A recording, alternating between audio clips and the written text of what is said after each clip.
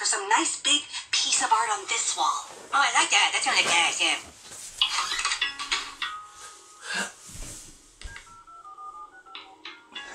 Yeah, listen. I don't know if I can keep doing this.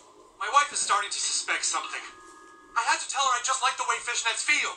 I know your wife means a lot to you, Randy, but you can't leave us hanging. You've got the purest shit out there, and it's worth a lot to us.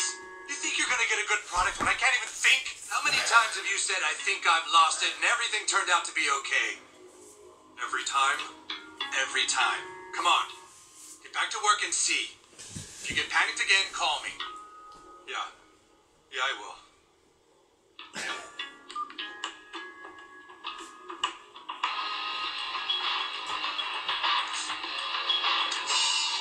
You wanted to see me? Sit down, Ron.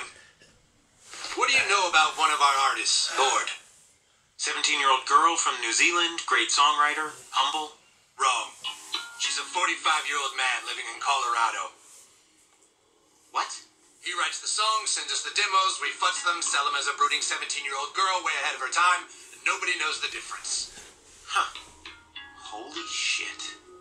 He makes good stuff, stuff that sells. But he's getting itchy feet. I want you to keep an eye on him. And if anyone around him seems like they're close to finding out the truth, well, you know what to do.